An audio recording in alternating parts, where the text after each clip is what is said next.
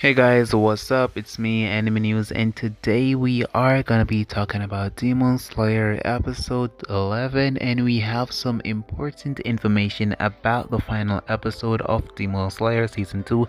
If you guys want to know everything, make sure you guys leave a like and also subscribe to the channel so you guys don't miss any information. And with that said, let's get into the video. So the final episode of Demon Slayer season 2 will be airing in about two weeks from now, and we got some important information that the final episode will be a 40 plus minute episode. So it's like we're gonna be getting two episodes in the final episode which will be episode 11 of the entertainment district arc. Very similarly to the first episode of the entertainment district arc which was 40 plus minute also. Make sure you guys leave a like and also subscribe to stay updated with all information. In a way I said I will see you all in the next video